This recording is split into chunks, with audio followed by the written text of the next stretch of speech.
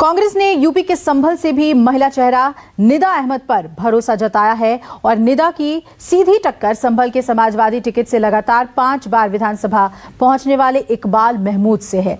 Nida Ahmad TV पत्रकार रही हैं और पत्रकारिता के बाद अब उन्होंने नया सियासी सफ़र शुरू किया है।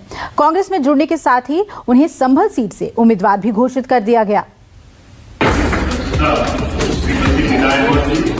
और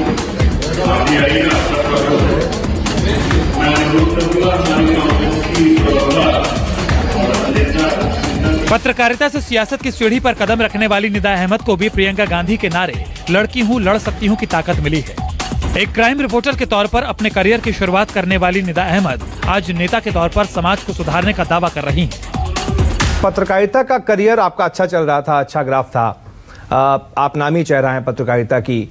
पत्रकारिता को छोड़कर अचानक से सियासी दामन थाम लेना, ये इसकी शुरुआत कैसे हुई? इसकी शुरुआत देखिए, अपूर्व, मैं तो आपसे भी कहूँगी, बाकी जो भी लोग अभी मुझे यहाँ पर सुन रहे हैं, उनसे भी कहूँगी कि अगर आपको कभी ज़िंदगी में ऐसा मौका मिले कि आप अपने क्षेत्र के लोगों के लिए कुछ कर सकते हो, आपको ऐसा मौका मिले कि आप अपनी विधानसभा सीट के लिए कुछ कर सकते हो, आपको ऐसा मौका मिले कि जहाँ पर आपका जन्म हुआ हो, जहाँ पले बड़े हो, जहाँ पर ट्वेल्थ क्लास तक की आपने पढ़ाई की हो, वहाँ के लोगों के लिए आपको कुछ करने का मौका मिले तो मुझे ही नहीं, मुझे लगता है अपूर्व कि सबको आगे आना चाहिए, और अपने जब बात हो, अपने क्षेत्र के विकास की तो हर किसी को बढ़ चढ़कर उसमें हिस्सा लेना चाहिए। यही वजह है कि मैंने नौकरी से रिजाइन करके और अब जब इतना बड़ा मौका मुझे मिल रहा था कि मैं कैसे अपने लोगों की मदद कर सकती हूँ, कैसे संबल का विकास कर सकती हूँ, जो अभी तक नहीं हुआ है, इसलिए मैंने एक पल की भी देरी नहीं लगाई ये फैसला लेने में।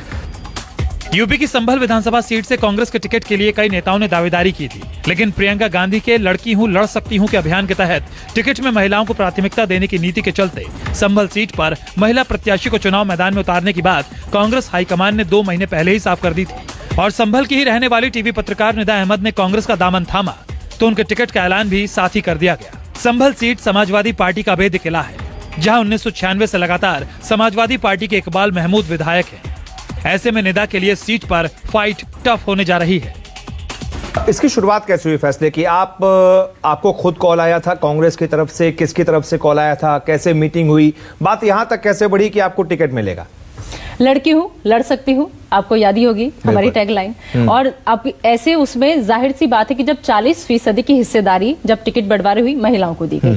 तो शायद आप इसे एक ये भी बेनिफिट के तौर पे मेरे लिए देख सकते हैं कि लड़की हूँ लड़ सकती हूँ चालीस फ़ीसदी टिकट महिलाओं को देना था। और दूसरा ये कि अभी तक जो मेरा राजनीतिक करियर तो मेरा अभी नहीं है शुरुआत है इसकी। लेकिन आप जितना एज ए फ्रेंड मुझे जानते हैं दोस्त की तरह जानते हैं या फिर सहयोगी की तरह जानते हैं तो आपको भी अंदाज़ा होगा कि मेरा जो मिजाज है या मेरी जो आदत है वो है कि कैसे भी लोगों का हम भला कर सकें। कैसी भी अगर किसी की परेशानी हो तो उसे हम दूर कर सकें। तो मेरे संभल के लोग जो तीस साल से खुद को ठगा सा महसूस कर रहे हैं लेकिन उनके सामने दिक्कत ये थी मजबूरी ये थी अपूर्व कि कोई ऑप्शन नहीं था कोई विकल्प नहीं था। अगर वो विकल्प मुझे मिल रहा है और उस विकल्प के तौर पर मैं उनके सामने जा रही हूँ और कहते हैं देखिए ऊपर वाला भी कहता है कि बंदे तू हरकत कर बरकत करना मेरा काम है। तो हरकत मैंने कर दी है बरकत ऊपर वाला करेगा। शादी के बाद पढ़ाई पूरी कर टीवी पत्रकारिता में अपना अलग मुकाम हासिल करने वाली निदा पर प्रियंका गांधी ने अपने भरोसे की डोर थमाई है। अब देखना दिलचस्प होगा कि जनता निदा पर कितना विश्वास जताती है। Bureau report, news 24